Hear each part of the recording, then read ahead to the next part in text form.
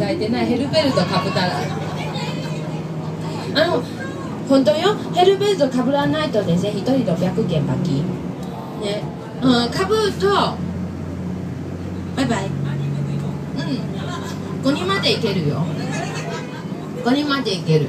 だから台湾のお母さんお父さんね学校行く時お子供送る時ねバイク使うのが好き。渋滞にならない。通勤間に合う。うん。だってあの車の間で隙間あるから通ればいい？いくら渋滞しても。キュキュキュキュっていける。いや慣れるから。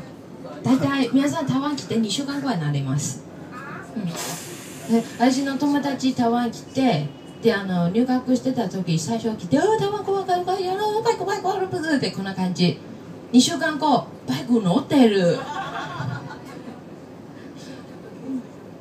うん